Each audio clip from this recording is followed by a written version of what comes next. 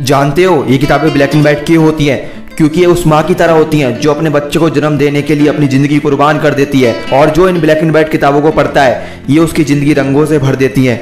किताब जितना वफादार दोस्त कोई नहीं है, इसके पेज कितने भी फाड़ो, इसको कहीं पर भी रख दो, लेकिन इसके मन में कभी यह नहीं होता कि मेरे साथ कुछ गलत हो रहा है। वो तब तक अपने दोस्त का साथ देती है, जब तक उसको कामयाब ना बना दे। अक्सर ये होता है, किताबें हमसे नहीं, बल्कि हम उसे दोस्ती तोड़कर अलग हो जाते हैं। ये जानते हुए भी कि इससे अच्छा दोस्त और भरोसेमंद दोस्त ना हमें मिलाए और ना हमें मिलेगा। इसीलिए इन किताबों को अपना दोस्त, अपना हमसफर बना लो।